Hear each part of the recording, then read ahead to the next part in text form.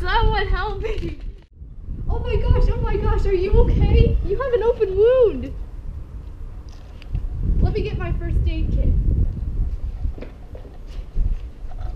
Okay, it looks like the scene is safe. Now let me get my gloves on for my personal protection. Two hours later. It's hurt. okay, I'm gonna use this gauze.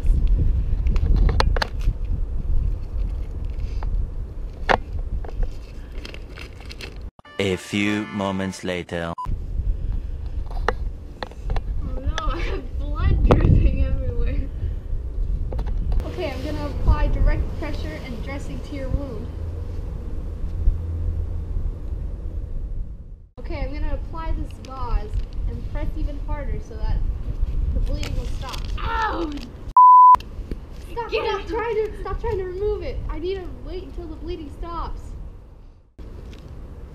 Okay, I'm gonna tie up this bandage so that it keeps the pressure.